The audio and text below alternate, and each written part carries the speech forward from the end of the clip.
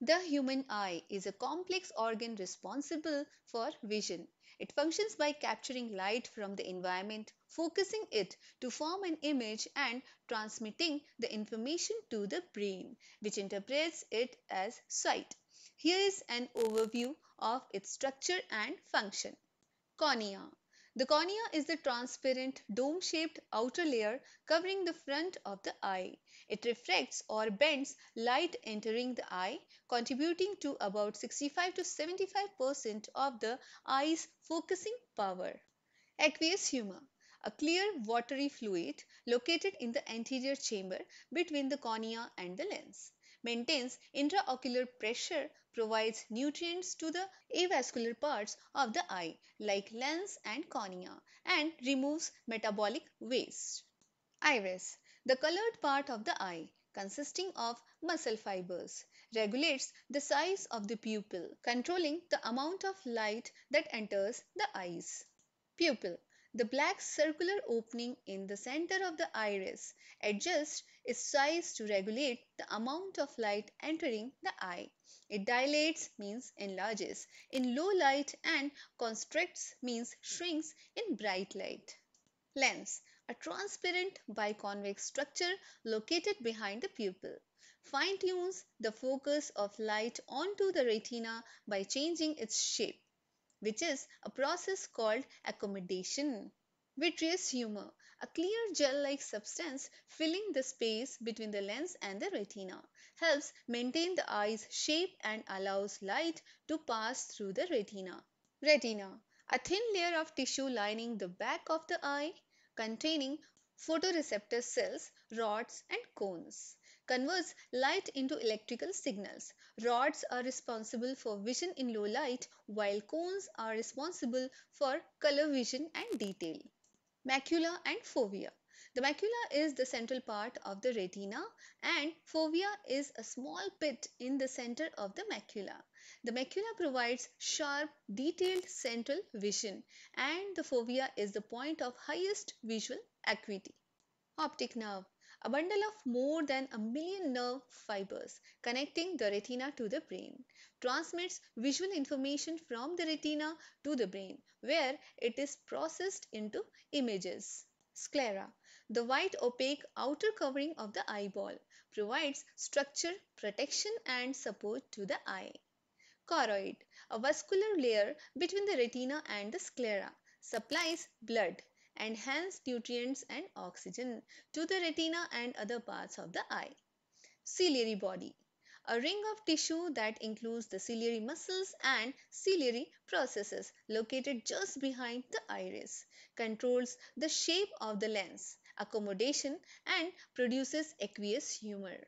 Visual pathway Light enters the eye through the cornea, passes through the aqueous humor, pupil, lens and vitreous humor and finally reaches the retina. Photoreceptor cells in the retina, rods and cones convert light into electrical signals. These signals are processed by other retinal cells and transmitted via the optic nerve to the brain's visual cortex. The brain interprets these signals as images allowing us to see.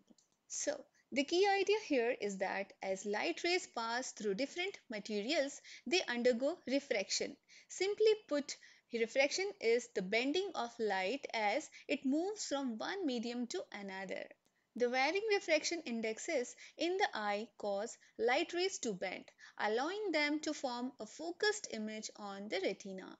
The retina, lined with photoreceptor cells, called rods and cones detects the light's intensity and frequency. These cells process the image and transmit nerve impulses to the brain via the optic nerve. Although the image is initially inverted, the brain corrects this. This process is similar to how a convex lens functions. Understanding the eye's working highlights the crucial role each eye plays in enabling human vision. Eye defects like you may have noticed, the human eyes gradually lose their power of accommodation. In such cases, the person cannot see distinctly and comfortably. There are three common eye defects and they are myopia or nearsightedness, hypermetropia or farsightedness, and presbyopia. These defects are corrected by the use of suitable spherical lenses. So here we are going to discuss other eye defects too. Eye defects, also known as refractive errors, occur when the shape of the eye prevents light from focusing directly on the retina, leading to blurred vision. Here are some common eye defects. Myopia or nearsightedness, a condition where close objects are seen clearly but distant objects appear blurry. It occurs when the eyeball is too long or the cornea is too curved, causing light to focus in front of the retina. Symptoms Blurred vision when looking at distant objects, squinting, eye strain, and headaches.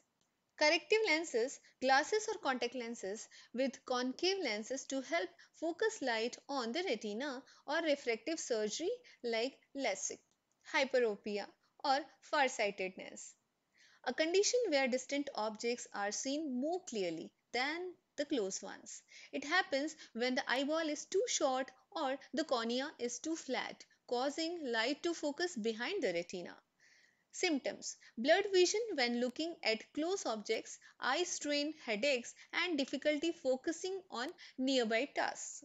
Corrective lenses with convex lenses to focus light on the retina or refractive surgery can be surely helpful. Astigmatism a condition where the cornea or lens has an irregular shape leading to distorted or blurred vision at all distances. Instead of being perfectly round, the cornea is more oval shaped, causing light to focus on multiple points on the retina. Symptoms Blurred or distorted vision, eye strain, headaches, and difficulty seeing at night. It can be corrected by using corrective lenses like glasses or contact lenses with a spherical cylindrical shape to compensate for the irregular curvature or refractive surgery. Presbyopia an age-related defect where the eye's lens loses flexibility, making it difficult to focus on close objects. It typically begins to develop around the age of 40. Symptoms Difficulty reading small print, needing to hold reading material farther away, eye strain and headaches. It can be corrected by using reading glasses, bifocals, trifocals, progressive lenses or multifocal contact lenses. Some people may opt for refractive surgery or lens implants. Color vision deficiency or color blindness a defect where the eye has difficulty distinguishing between certain colors, usually due to the problem with the cone cells in the retina. The most common type is red-green color blindness. Symptoms Difficulty differentiating between colors or shades of colors, especially reds and greens. There is no cure, but special lenses, glasses or contact lenses can enhance color perception for some people amblyopia or lazy eye a condition in which one eye develops poor vision because it and the brain are not working together properly. It usually occurs in childhood. Symptoms One eye may drift or wander, or the child may favor one eye over the other. There is typically no obvious physical defect. Treatment involves forcing the brain to use the weaker eye often through patching the stronger eye or using corrective lenses and sometimes surgery. Strabismus or crossed eye. A condition where the eyes do not align properly and point in different directions. One eye may look straight ahead while the other turns inward, outward, upward or downward. Symptoms Misaligned eyes, double vision or difficulty focusing on a single object. In children, it can lead to amblyopia if untreated. Treatment may include corrective glasses, eye exercises, patching or surgery to straighten the eyes. Anisometropia a condition where the two eyes have significantly different refractive powers, leading to unequal focus between the eyes. Symptoms Blurred vision, difficulty focusing, double vision or eye strain. It can lead to amblyopia if one eye is significantly weaker. Corrective lenses, glasses or contact lenses or surgery to equalize the refractive power of the eyes can be helpful. diplopia or double vision, a condition where a person sees two images of a single object. This can be due to problems with the eye muscles, the nerves that control them, or the brain. Symptoms Seeing two images of one object which may be horizontal, vertical, or diagonal. Treatment depends on the cause and may include corrective lenses, eye exercises, or surgery. In some cases, covering one eye may be necessary to prevent double vision. These eye defects are typically diagnosed through a comprehensive eye examination and most can be corrected or managed with appropriate treatment.